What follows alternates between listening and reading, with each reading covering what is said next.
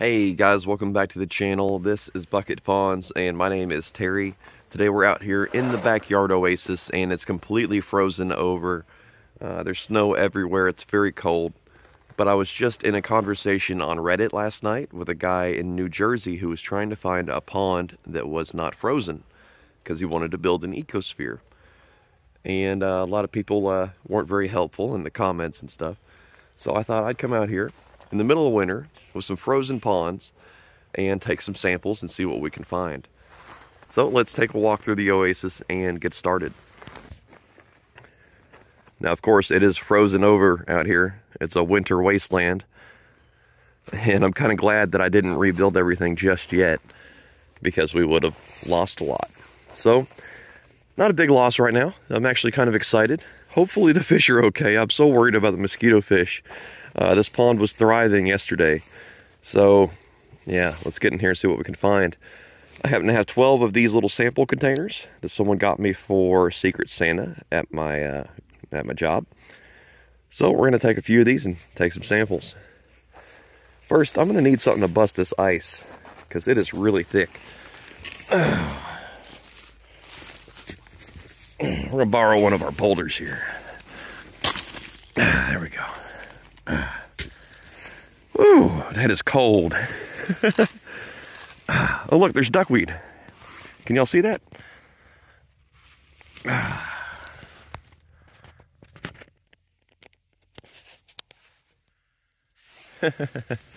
so there's duckweed in there.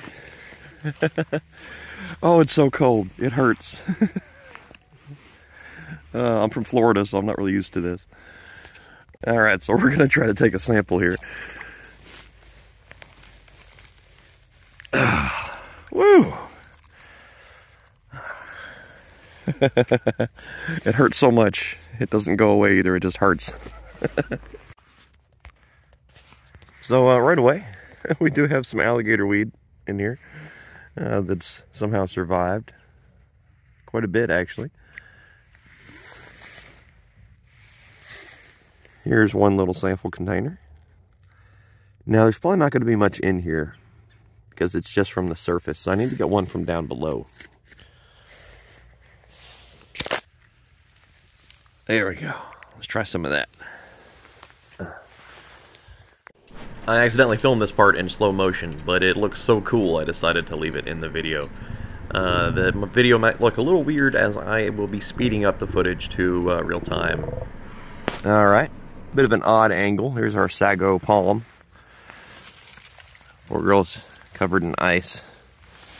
But here's one of our oldest bucket ponds right here. She's been out here for like four or five years and she's never been frozen, so very curious what might be going on here.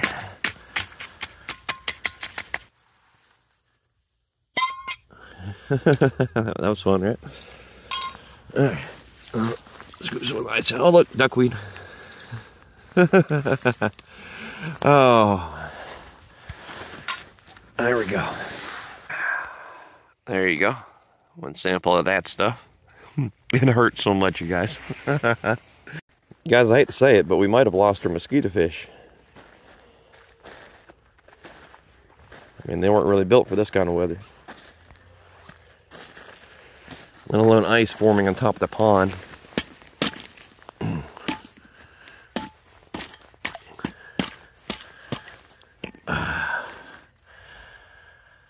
It's really cold out here. I don't know how much of this left. so, oh, look, some water lettuce. Oh, some poor beat up water lettuce. Oh my God. All right, I can't keep this up too much longer. My fingers are freezing. oh, look.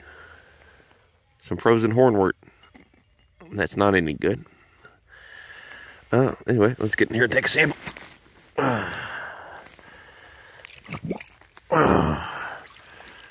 There we go.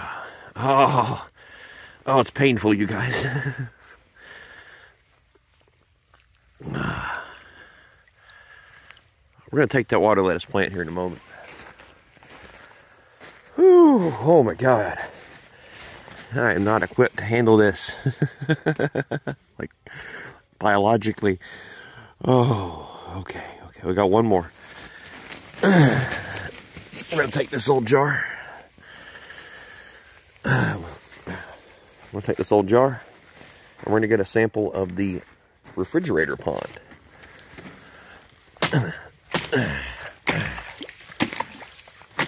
Look at all that duckweed.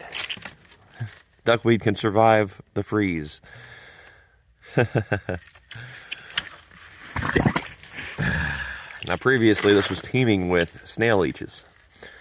They took over this container for some reason.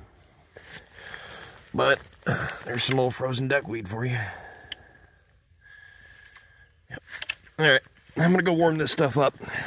We'll see what we find.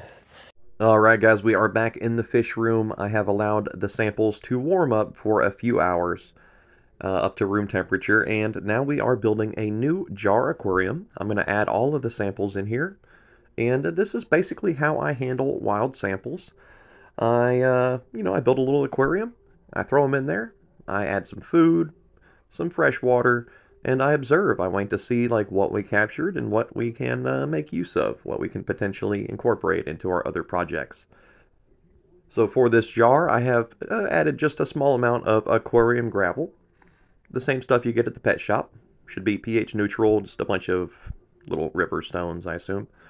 Uh, but on top of that, we are adding all of the wild samples. And I really love the little blur effect I used here. I think it was really cool. But uh, yeah, guys, uh, this is basically how I do things, you know? I examine the samples, and uh, just like the wild Daphnia that we captured recently, I'll have another video up about them soon. Uh, but yeah, yeah, you know, I capture some stuff, I check it out, we, uh, you know, build a wild tank, and we observe it for a while. And typically, I'll allow these wild aquariums to last for some time, uh, months or years. Now I'm adding some pond stones some of those same gravel stones up on top of here. I should say river pebbles, not pond stones. Uh, but yeah, they're going to help to pin down some of that debris and allow the smaller particles to settle. And it should work out well. Here's a look at the surface. We have some duckweed up here. If you're not familiar with duckweed, it was very prominently featured in the snowy conditions outdoors. And so here's a good look at it. This is Lemna minor. I love it. I have it in every project, just about.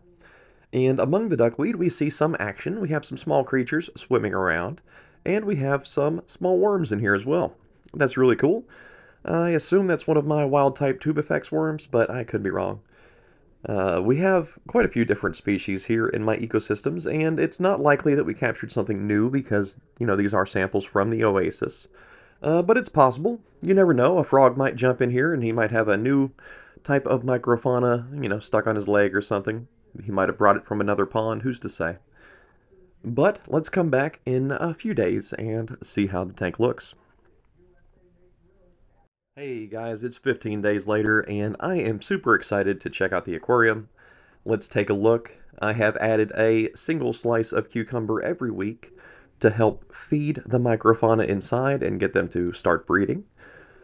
Uh, the tank looks pretty interesting, actually. I think it's really cool. And this is the type of aquarium that I would just have sitting on the shelf. This is a wild jar aquarium. There's going to be some algae and some issues. There are no snails in here, unfortunately. But I did find a dragonfly larva inside. And, of course, we love them. We love them to death. They are a big part of our outdoor ecosystem. And these are the same dragonflies that will come up and land on my hat or on my wife's finger. Uh, they're really cool. And uh, this could be a different species, of course, but that's just how they act here at the Oasis. I don't know if that's normal for dragonflies. Uh, but I definitely do not want to keep this guy indoors. Um, if you've never experienced it before, it's really freaky when a dragonfly busts out of your little aquarium, especially while you're in there doing things. uh, we can raise them to adulthood in our aquariums, but it is a bit strange. So I want to let him go and make sure he has his best life out there in the ponds. And uh, we'll call him Fred. Maybe we'll see Fred again one day when he's a beautiful flying uh, master of the skies. Otherwise, excuse me, elsewhere. elsewhere in the aquarium, we do have some algae in here. Uh, some small particles, lots of little filaments. I would assume that's hair algae or uh, filamentous algae. Um, but adjusting the lighting here a bit, we have a very interesting looking aquarium, you guys and right away I can see some creatures in here swimming around. Now, this isn't the best example because these are samples from the Oasis, but Uh, typically, when I take wild samples, you know, some things I catch, maybe I can't keep them alive, maybe they don't do well in my aquariums, maybe they just don't like being in captivity for one reason or another. Uh, so some things don't make it, and that's okay. You know, that's part of the process, but some things do. And typically, when you throw some wild samples into an aquarium in the style that you choose to run, uh, if they do survive in there, then they become very useful, in my opinion, you know? It's fun to, uh, to see what sticks with the way that I do things, and I assume other people do the similar type of hobby out there. Somebody has to. You guys watch these videos, right? But I am seeing some action, and here they are. Yeah, here's our culprits here. These are copepods, uh, cyclops. I think that's what the regular people call them. Uh, but there they are, right there. Here's another one up there, and another one off to the side. These guys are great little creatures, and um, I don't know, you might raise them intentionally. You might be very interested in copepods. But for me, they're just kind of in the background in all of my aquariums, and I just kind of accept them. Uh, yeah, they like to scoot around and do their little swimming motion. Um, they might look like a little chubby letter Y. Uh, but other species, other versions of copepods might look a little bit different, just like our ostracods. But this tank is wild looking, you guys. It's really cool. And yeah, I'll probably hang on to this for a while. We do need to put that dragonfly larva outside. Uh, but if nothing else, we've created an interesting copepod culture, and I can uh, kidnap a few of them and put them in another tank. Uh, otherwise, I will have to slow down the feeding schedule because there's a lot of cucumber debris in here that is not being eaten. And at this point, I think I might add a couple bladder snails as well, as they can help to clean up a lot of this debris. And uh, we might even inject some ostracods and some daphnia in here just for fun. Uh, we do love our microfauna. And, you know, uh, recently I did make a video where we were uh, attempting to raise microfauna, uh, daphnia and ostracods together. And it came to my attention that the ostracods might eat the daphnia, so we're kind of worried about that. But so far it's not happening. Anyway, guys, we built a new wild aquarium. We found some life outdoors in the frozen wasteland and I had a lot of fun doing this. I hope that you guys liked the video. I know my voiceovers can get a little goofy sometimes. Uh, I get kind of distracted. I am not good at talking to people. So making these videos is like really important to me and it, it means a whole lot uh, that I can do this. So I hope that you guys enjoyed it. Thank you so much for watching. My name is Terry. This is Bucket Ponds. I'll always be here. You can always come watch some Bucket Pond stuff anytime and I'm happy to have you. So thank you so much for watching. Thank you to our Patreon supporters and YouTube members especially. If you'd like to support the channel, please do so through either option. Uh, I would prefer you become a YouTube member. Uh, it's only a dollar. And it's uh, easier for me to, you know, speak with you and such. I'm not very active on Patreon, to be honest. Uh, but for everyone else, thank you in general. We're growing really quickly. Uh, so thank you to all of our new friends, and I will see you in the next video. Have a great day.